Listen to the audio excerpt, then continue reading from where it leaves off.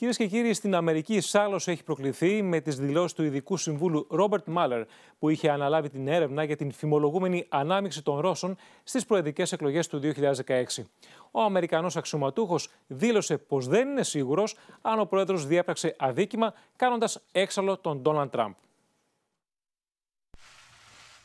Χωρίς ίσως να το περιμένει και ο ίδιος, ο Ρόμπερτ Μάλερ προκάλεσε θύελα στο πολιτικό σκηνικό των Ηνωμένων Πολιτειών και οι αντιδράσεις είναι αλυσιδωτές. Η φράση κλειδί του Ειδικού Συμβούλου που είχε αναλάβει την έρευνα για ενδεχόμενη ανάμειξη των Ρώσων στις προεδρικές εκλογές του 2016 ήταν αυτή που άνοιξε τον ασκό του αιώλου.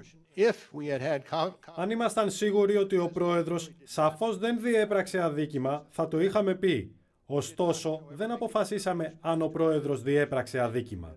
Αυτή η φράση ξεσήκωσε τους δημοκρατικούς που σκέφτονται ακόμη και την κατάθεση πρότασης μομφής κατά του Μάλερ έτσι ώστε να τον αναγκάσουν να καταθέσει στην ειδική επιτροπή του Κογκρέσου. Ένας οργισμένος Ντόναλτ Τραμπ απάντησε στις υπόνοιες των δημοκρατικών ισχυριζόμενος ότι το πόρισμα δεν βρήκε επαρκείς αποδείξεις για παρεμπόδιση του έργου της δικαιοσύνης από την πλευρά του. Στην ερώτηση δημοσιογράφου αν πιστεύει ότι είναι πιθανό να ασκηθεί δίωξη εναντίον του, ο Ντόναλτ Τραμπ απάντησε. Δεν βλέπω πώς. Μπορούν να το κάνουν επειδή επιτρέπεται, αν και δεν μπορώ να φανταστώ ότι θα το επιτρέψουν τα δικαστήρια. Δεν το έχω σκεφτεί ποτέ. Ποτέ δεν πίστεψα ότι θα χρησιμοποιούσα αυτή τη λέξη. Για μένα είναι μια βρώμικη λέξη η λέξη δίωξη. Είναι μια βρώμικη, βρωμερή, αειδιαστική λέξη και δεν έχω καμία σχέση με αυτή τη λέξη. Δεν πιστεύω ότι μπορεί να γίνει επειδή δεν υπήρξε αδίκημα. Μάλιστα δεν δίστασε να επιτεθεί εναντίον του Ρόμπερτ Μάλερ που δεν του έκανε το χατήρι να τον βγάλει αθώα περιστερά.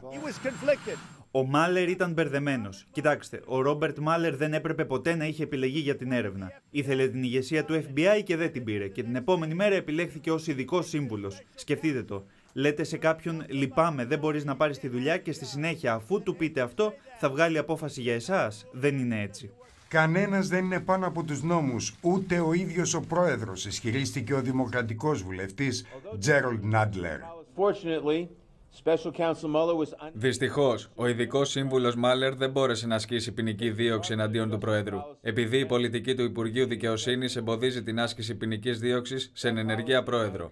Αυτή η πολιτική, κατά τη γνώμη μου, είναι λάθος. Ωστόσο, εμπόδισε τον ειδικό νομικό σύμβουλο να επιδιώξει τη δικαιοσύνη στο μέγιστο δυνατό βαθμό. Ω εκ τούτου, εναπόκειται στο Κογκρέσο να δώσει απάντηση στα αδικήματα, στα ψέματα και τις άλλες ατασταλίες του Προέδρου Τραμπ. Αυτό θα κάνουμε. Μην κάνετε λάθος. Κανένας, ούτε καν ο πρόεδρος των Ηνωμένων Πολιτειών, είναι πάνω από τον νόμο. Η συνέχεια αναμένεται με ενδιαφέρον, καθώς αν οι Δημοκρατικοί κατορθώσουν να κλητεύσουν τον Ρόμπερτ Μάλερ στην Ειδική Επιτροπή της Γερουσίας, ίσως ο Ντόναλτ Τραμπ να βρεθεί σε πολύ δύσκολη θέση.